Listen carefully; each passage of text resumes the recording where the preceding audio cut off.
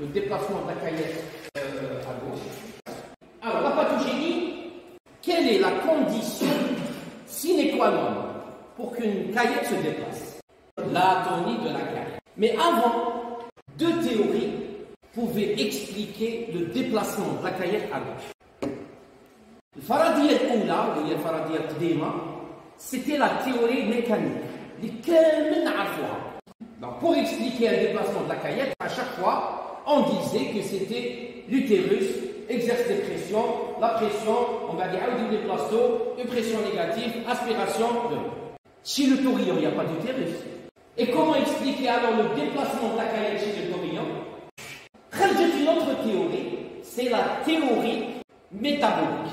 Et actuellement, la théorie métabolique, c'est la théorie la plus logique, la plus sensée, la plus généralisée qui est utilisée pour expliquer le déplacement de la caillette à gauche. La théorie métabolique, je trouve. il y a certaines substances d'origine métabolique, on va les voir, qui vont entraîner une atonie de la caillette. La première condition pour qu'une caillette se déplace. c'est des substances qu'on va retrouver au niveau sanguin, qui sont d'origine métabolique, qui sont d'origine microbienne, qui sont d'origine endotoxinique, et ainsi de suite. Toutes ces substances vont entraîner le premier facteur susceptible d'entraîner un déplacement de la caillette à gauche, c'est l'atonie de la caillette. Il y a besoin de la caillette. Une fois que l'atonie s'installe, qu'est-ce qui va s'installer? La distension par des gaz, parce qu'il y a des fermentations. Maintenant, au niveau de la caillette, il y a une petite activité fermentaire. D'accord? Ok? Elle n'est pas aussi importante qu'au niveau du rumen, mais elle existe quand même. Donc on commence toujours par la pointe du coude gauche. la pointe de la hanche gauche.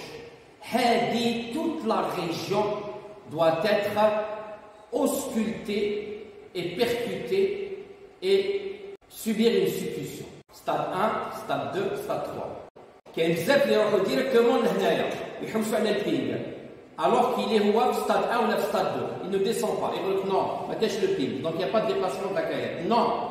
On commence toujours par la pointe du coude gauche et on termine vers la pointe de la hanche gauche. C'est l'air de projection du déplacement de la caillette à gauche. Là où on va chercher le fameux ping, le fameux ping, le sang métallique. Alors, les causes de l'atonie sont diverses. Nous là les endotoxines bactériennes. وهذا هو problème على الصحة c'est quand le pH 5 dure plus de 2 heures هنا وين يبداو كاين مشاكل parmi المشاكل هذوما كاين une bactérie ما تعرفوهاش Parce que c'est une bactérie qui vient d'être. C'est dans les 5 ans, 10 ans, on les Alors, c'est une bactérie, c'est une bactérie, elle aime le 5-5 quand il va durer. Oui, c'est moi la bactérie Alizonella histaminoformes. Alizonella histaminoformes. Très bien. Donc, on a expliqué dans le dossier on a expliqué l'histamine, la forte concentration sanguine en corps Donc c'est le corps cétonique il ne se retrouve pas au niveau de la caillette. Ce n'est pas des corps cétoniques intraluminales, c'est des corps cétoniques qui sont au niveau de la circulation générale. Comment des corps cétoniques, en augmentant au niveau de la circulation générale, provoquent l'atonie ruménale, inhibe l'activité ruménale Elle n'inhibe pas uniquement l'activité de la caillette, elle inhibe l'activité de tout le tube eh, euh, une explication. Puisqu'il y, a une, puisqu'il y a une augmentation des corps il n'y a pas d'énergie. Et s'il n'y a pas d'énergie, il n'y a pas de contraction. Il n'y a pas de contraction. Eh, ça, je vais lui répondre. Les risques de déplacement de la caillette vont être observés surtout lors d'acétonémie subclinique. Parce que quittera l'acétonémie clinique, qu'elle soit de type 1 ou de type 2, le tableau clinique, il n'y a jamais de déplacement de la caillette. Ça veut dire que l'animal va souffrir d'un problème plus grave que le déplacement de la caillette. Et voir le dépérissement, la chute de production laitière, les phénomènes nerveux, les phénomènes. Donc ce n'est pas lors d'une acétonémie clinique. Et donc, on revient à la subclinique, la subclinique. Ça veut dire présence de corps cétonique supérieur à 100 à 100 mg par litre, mais sans signe clinique. هذه l'acétonémie subclinique عاودوا les vidéos l'acétonémie subclinique c'est une quantité de corps cétonique supraphysiologique mais qui n'atteint pas un taux pour donner des signes cliniques parmi les signes parmi les prédispositions qu'a de la caillette c'est les corps cétoniques en subclinique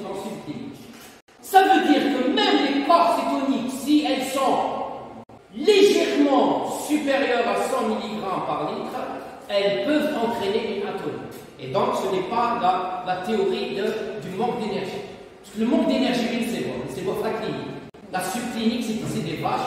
Mais il y aura des, répercussions par la suite. Donc, cette théorie, on ne peut pas, pas la voir. Là, il faut revenir vers l'effet direct des corps cétoniques sur le kidji. Ben, la cétonique, c'est bon, c'est pour la clinique. Je sais que la subclinique. De prime abord, la subclinique, la subclinique, déjà, elle des phénomènes d'atonie d'accueil. D'ailleurs, l'atonie d'accueil, l'atonie de l'humain, l'atonie de et ainsi de suite. S'il y a beaucoup de corps cétoniques, je parle des s'il y a beaucoup de corps cétoniques, ça veut dire qu'il y a eu beaucoup d'acétylcours. S'il y a beaucoup d'acétylcours, je m'arrête pas. Maintenant, soit il y a beaucoup d'AGV, il y a beaucoup de glycogénolyse, ou beaucoup de néoglycogénolyse. Alors, ah on a dit l'explication. D'accord? Ça, s'il y a beaucoup d'AGV, ça veut dire que l'animal a réussi à avoir la quantité d'AGV voulue. Est-ce qu'il s'arrête de s'alimenter? Est-ce que le type digestif il va s'arrêter? Il va s'arrêter. Classe, le Donc, au chaise nous le à le premier. Deuxième cas, l'écogénolyse, qui est faible, là, maintenant on ne la cite même pas chez les la glycogénolyse, le stock de glycogène, il est libéré dès, la parturition et il est utilisé pour mettre D'accord? C'est la néoglycogène. Et la néoglycogène, qu'est-ce qu'elle va faire? Elle va faire une lipolyse. Les lipolyses, où je Libération d'AGN, les acides gras non stérifiés. Une fois au niveau de la, les AGNE, qu'est-ce qu'elles vont exercer? Elles vont exercer une action rétrocontrôle négative sur la tonicité du tube digestif environ. Parce qu'elle est classe, on a des AGN, on a le substrat. Est-ce qu'on a besoin de s'alimenter? Non, on va s'arrêter. Donc les corps cétoniques, en augmentant, inhibe par effet réflexe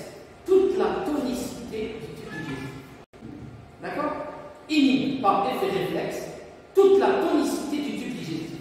Les ingénieurs, là, les ingénieurs, là, toutes les substances énergétiques, tout ce qui est énergétique. D'accord N'avez comme un exemple. Vous avez faim. L'estomac تاعكم تقطع.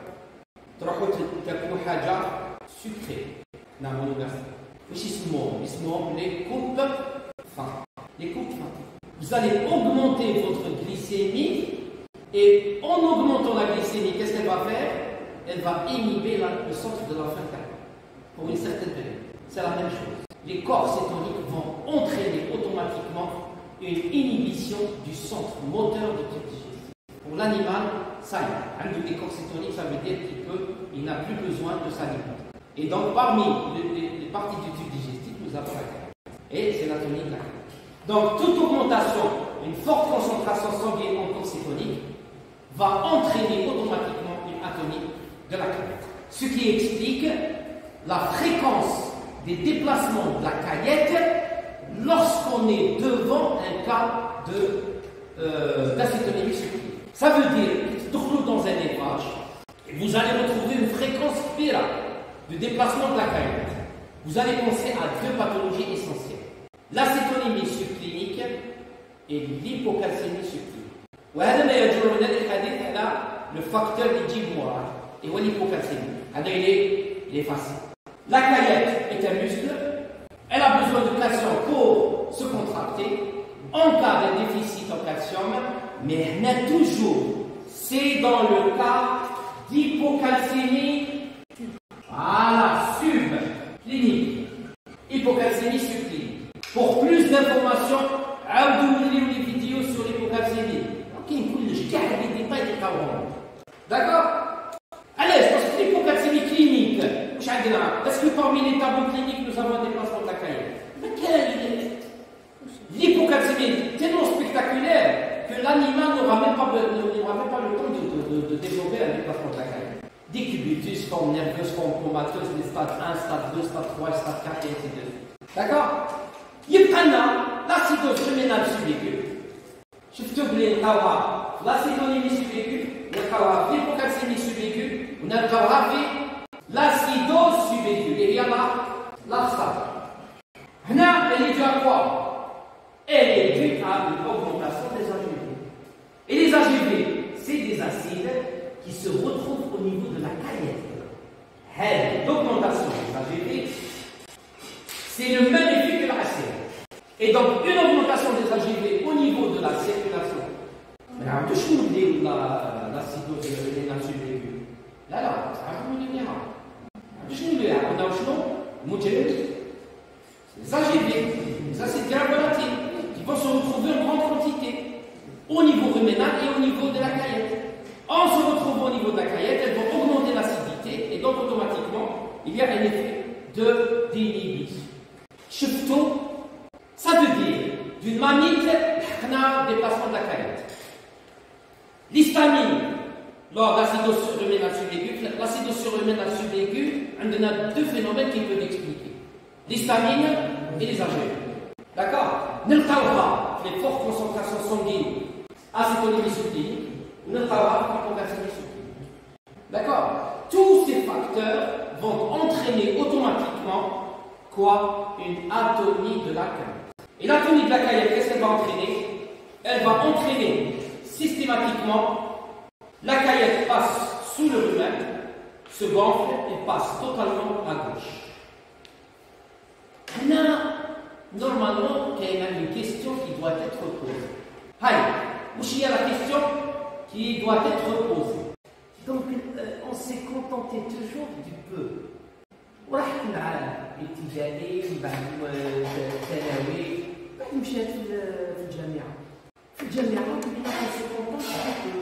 نهار اللي نبداو العشاء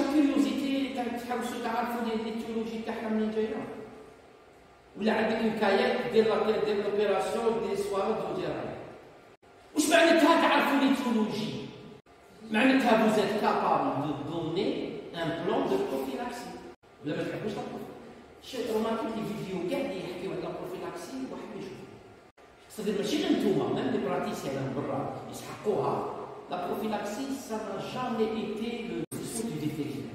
Alors que c'est, c'est la mission principale du vétérinaire. Alors, comme un vétérinaire qui traite, c'est un échec pour le vétérinaire. Dans un élevage.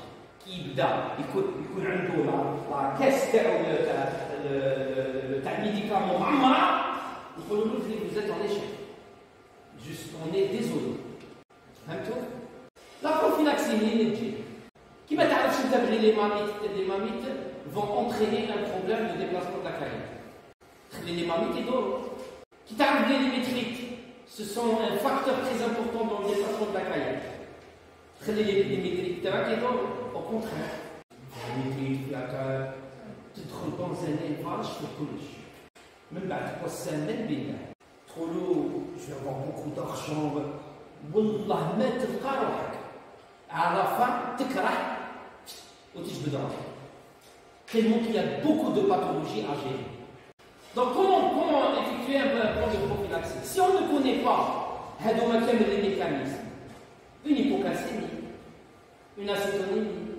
il y a un diagnostic de déplacement de la caillette, vous faites la chirurgie, on va une semaine après, il y a pour une autre vache, déplacement de la caillette. Trois jours après, il y a bien, faire le déplacement de la caillette. Mais où il va se demander قال الطبيب كان يطلع عندي انا ما ما باتخو هو يدو لي يدو سوليسيون لي فو فو سوليسيون وين راهي لا سوليسيون قال تجيب عند ربي خلاص المهم انت واش تقرا غير تصرى لك غادي mais non, c'est pas comme ça qu'on doit prier. On doit prévenir. D'ailleurs, on va voir au plan de prophylaxie, le mal. Ok? Alors, la question qui doit être posée, eh, est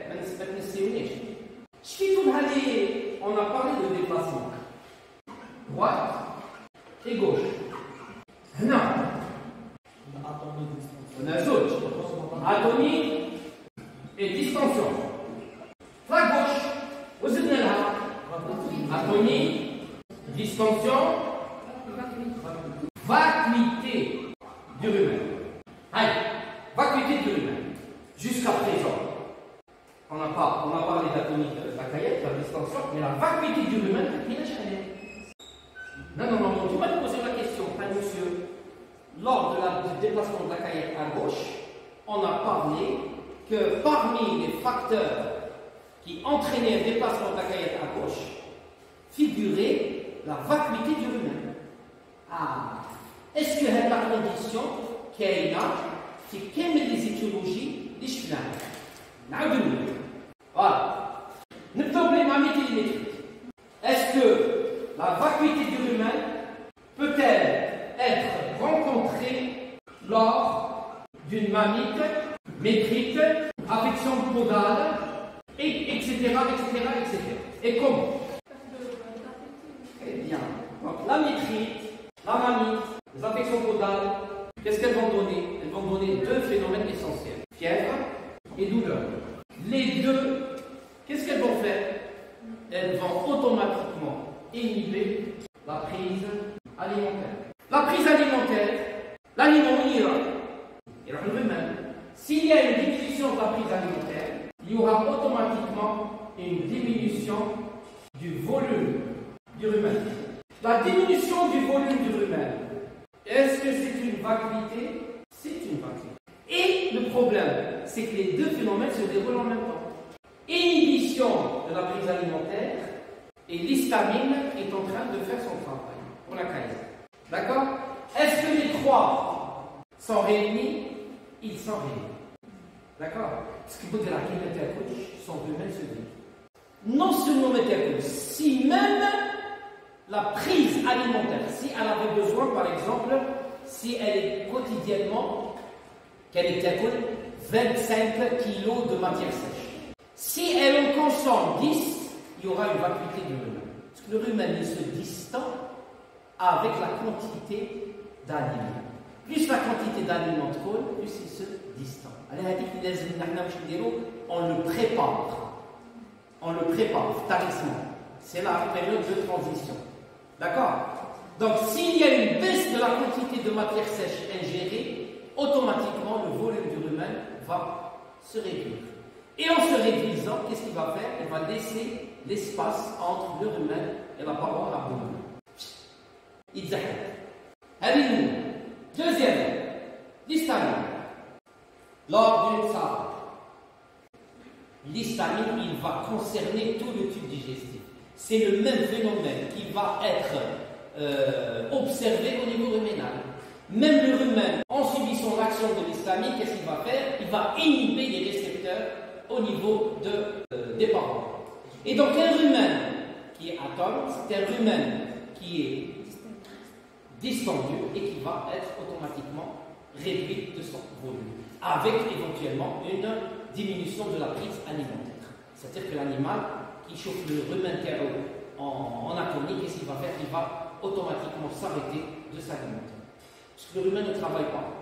Il ne peut pas. D'accord? Et donc automatiquement, qu'est-ce qu'il va faire? Il va y avoir une vacuité du rumen suite à l'action de l'histamine. L'écorce iconique, la même chose, puisque ça va intéresser tout, tout le tractus digestif. L'hypocalcémie, le rumen est un muscle, il n'y a pas de calcium, il n'y a pas de contraction. S'il n'y a pas de contraction, il n'y a pas de prise alimentaire. S'il n'y a pas de prise alimentaire, le rumen va être vide. Et donc la vacuité, va jouer dans un rôle de vacuité, euh, vacuité ruminale. L'acidose ruminale vécu. la présence d'AGV au-delà de 30% va inhiber les moteurs, les phénomènes moteurs du rumen. D'accord 30%, c'est les AGV, ils vont inhiber les, les phénomènes moteurs, que ce soit primaire ou secondaire. Et donc, qu'est-ce qu'il va y avoir? Il va y avoir une diminution, voire arrêt de la prise alimentaire. Le rumen va subir une vacuité. Donc, selon l'importance du déplacement, on distingue les différents stades. Donc, stade 1, stade 2, stade 3. Et c'est pour cette raison que la caillette, nous donne la pointe du coude gauche vers la pointe du coude, la pointe de la hanche gauche au-delà de la 13e corde. Là, vous arrivez un beau jour, vétérinaire, vous détectez un ping stade 2. C'est-à-dire que vous allez avoir un ping entre la 8e et la 10e corde. Non. Qu'est-ce que vous allez faire?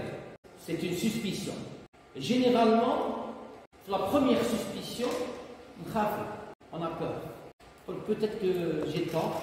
Attendons demain. White and see.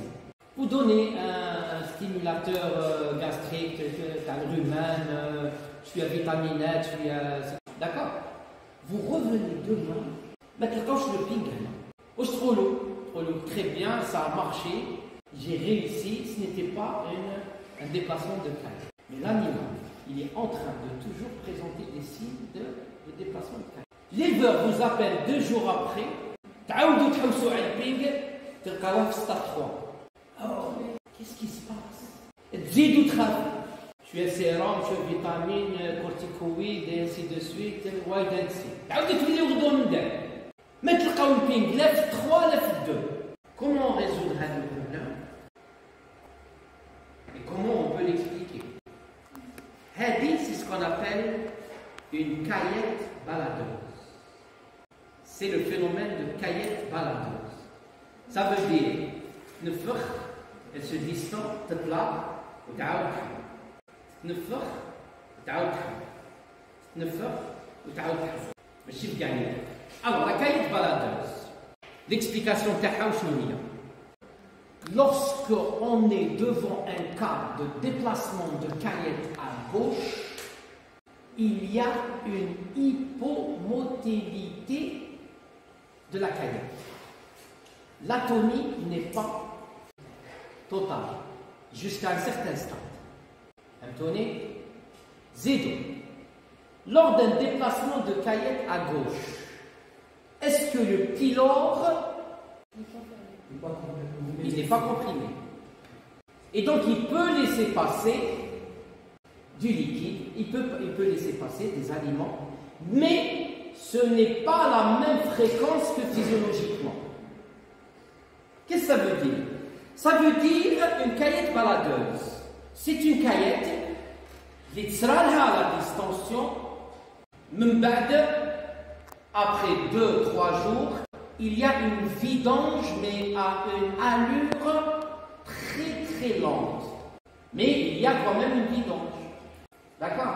Il y a quand même une Donc vous faites très attention. Si vous trouvez un ping au jour J, jour J plus 2 ou la plus 3 et vous nous trouvez, vous ne dites jamais que le problème est réglé. D'accord? On va dire qu'on est devant un cas de caillette baladeuse. Un cas de caillette baladeuse. C'est très important. Ok? C'est un cas de caillette voilà. Mettre à rouge. Lorsque vous trouvez un ping au niveau, mais le coude gauche, le coude droit, la pointe de la hanche gauche, mettre à Dire la pantomime exploratrice. Bon, à gauche, il y a des méthodes, on va les, on va les, on va les citer. Mais généralement, le roulage, le roulement de la vache, mais c'est des manipulations qui ne donnent pas euh, des résultats spectaculaires qui m'a la chirurgie, qui m'a la cure de déplacement de la caillette chirurgicale. D'accord À droite, à droite, le noir le roulé. Parce que علاش تحب انت ترولي à droite راهي ديجا à droite وترولي واش معناتها vous allez aggraver la portion شفتوا لو ان كار هذاك بالرولاج يولي 100% Ntalik Donc en cas de déplacement à droite, jamais le roulement de la hanche. À gauche, oui. Ok? Hadith, c'est ce qu'on appelle la caillette, la caillette. Alors, quelles sont les conséquences métaboliques d'un DCG, d'un déplacement de la caillette à gauche? Les conséquences métaboliques. Ça veut dire, je m'attends à des conséquences métaboliques. Maintenant, si on veut, par exemple, faire des examens paracliniques, qu'est-ce qu'on va retrouver au niveau sanguin Qu'est-ce qu'on va retrouver au niveau sanguin Alors, première conséquence, c'est l'accumulation de corps cétoniques sanguins. Ah, il y a quelque chose qui ne, qui ne va pas. Chose. كيف فريقين الفريق الأول قال لك le déplacement est une conséquence de l'acétonie. الفريق الأول قال لك c'est une conséquence. Alors ils se sont basés sur quoi Acétonémie, corps cétonique, corps cétonique, déplacement de la caille. Ça veut dire qu'avant d'avoir un déplacement de la caillette, il connaît et acétonique. Généralement subtil. Il fallait que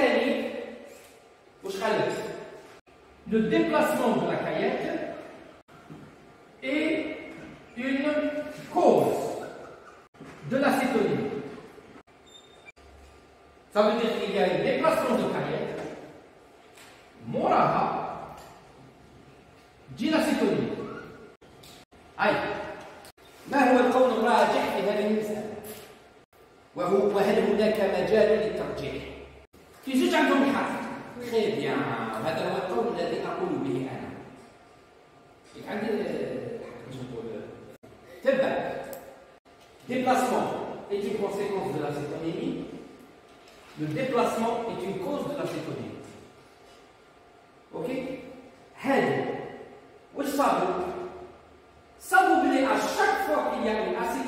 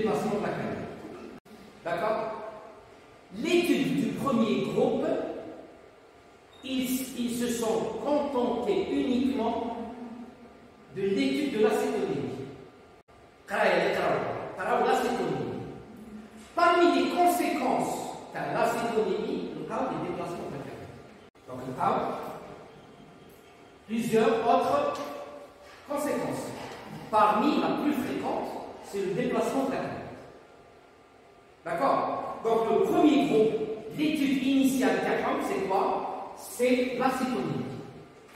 Ferme Ok? Premier groupe, c'est l'acétonine. Le deuxième groupe, ils se sont penchés sur quoi? Sur le déplacement de la carrière. D'accord? Sur le déplacement de la carrière. Ils se sont focalisés sur le déplacement de la carrière.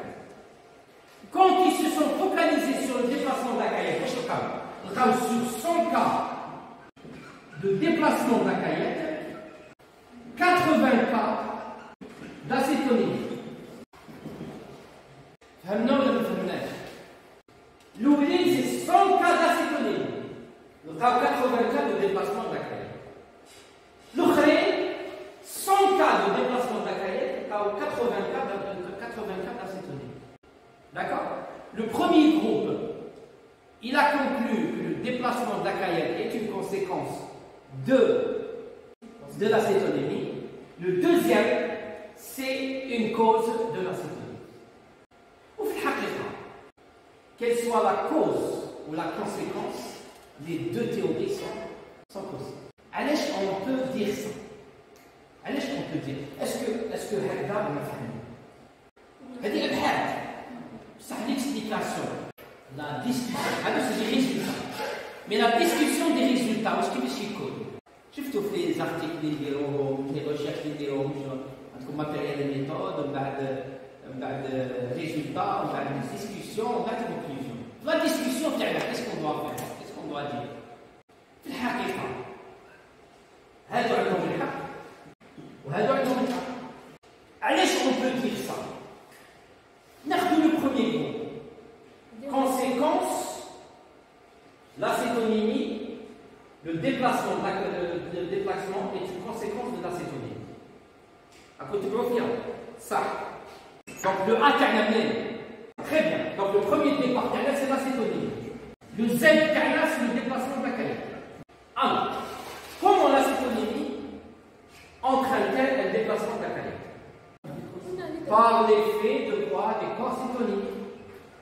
Atomie, vacuité, déplacement de la caillette.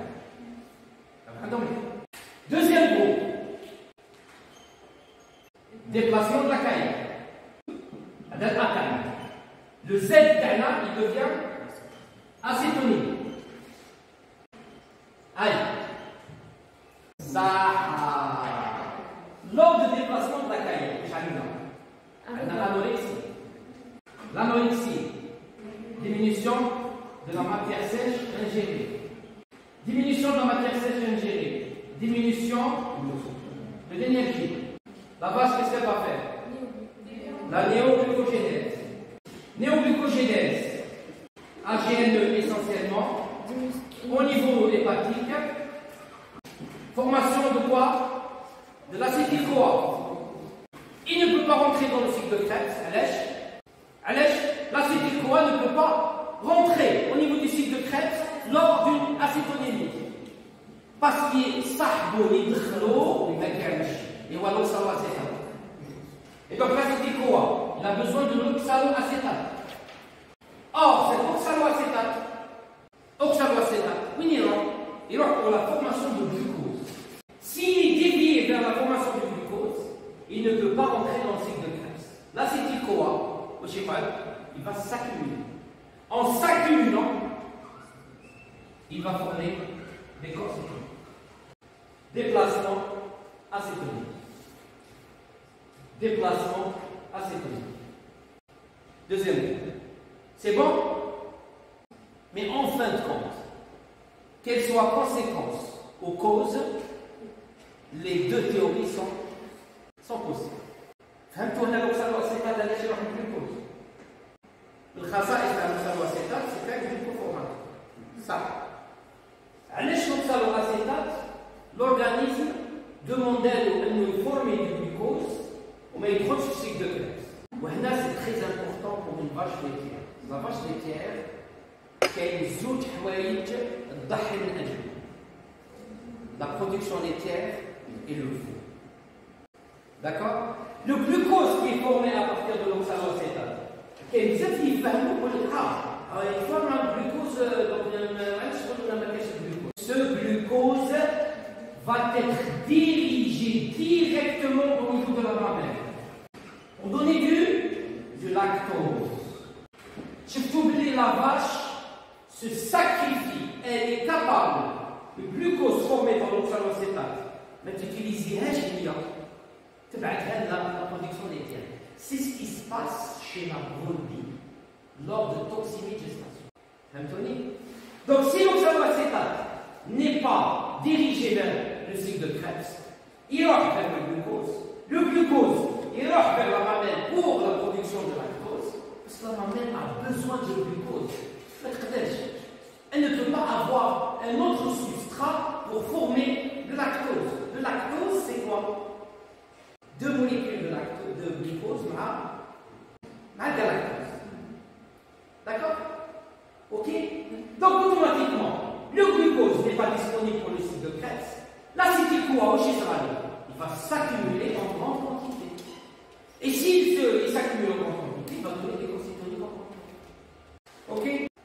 Ok Ok Donc, accumulation de corps cétonique au niveau sanguin.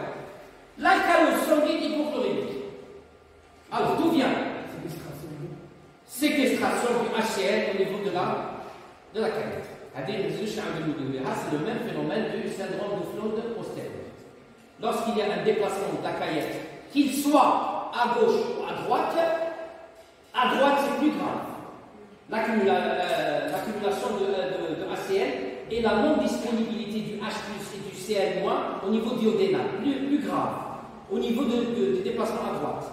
À gauche, il y aura une quantité scéra, mais cette quantité scéra, elle est susceptible d'entraîner une alcalose sanguine hypochlorémique. Et nous avons de l'hypocalémie. Alors, d'où vient l'hypocalémie Très bien.